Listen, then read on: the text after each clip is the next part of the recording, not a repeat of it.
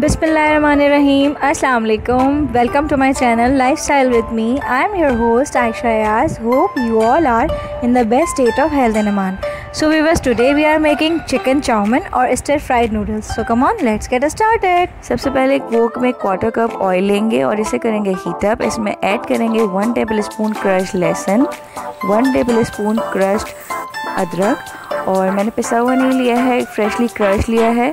इसे थोड़ा फ्राई करेंगे, इसमें ऐड करेंगे 300 gram boneless chicken cut in strips और जूलियन और इसे भी थोड़ा सा फ्राई करेंगे जिंजर गार्लिक के साथ। Now add salt to taste नमक हसब जायका देन वन टी स्पून कुटी हुई काले मिर्च।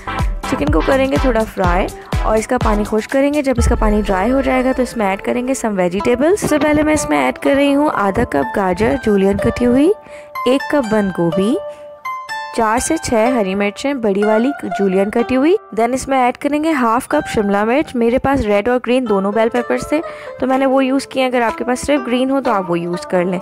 इसे डाल के इसे मजीद करेंगे थोड़ी देर fry now our chicken and vegetables are done इसे ओवर कुक या ओवर फ्राई नहीं करना। और ये मैंने ले लिए हैं एग नूडल्स बॉइल्ड और इसकी क्वांटिटी बॉयल होने के बाद है दो कप भर के। अब इसे ऐड करेंगे हम अपने फ्राइड वेजिटेबल्स और चिकन में।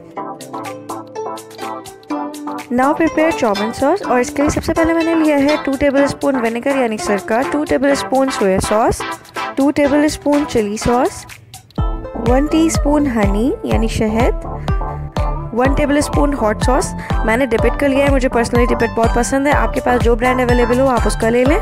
One and half tablespoon of oyster sauce and oyster sauce is the must ingredient in chow mein now add one tablespoon of red chilli flakes यानी कुटी हुई लाल मिर्च इसे करेंगे अच्छा सा मिक्स और हमारा चाउमिन सॉस हो गया रेडी अब इसे ऐड कर देंगे हम अपने नूडल्स में और इसे करेंगे अच्छा सा मिक्स फ्लेम ऑफ़ करने से दो मिनट पहले इसमें ऐड करेंगे क्वार्टर कप स्प्रिंग अनियन यानी बारीक चॉप हुई हुई हरी प्याज, और इसे अच्छी तरह टॉस करेंगे and that's it the chow mein is ready और अब इसे डिश आउट कर लेते हैं।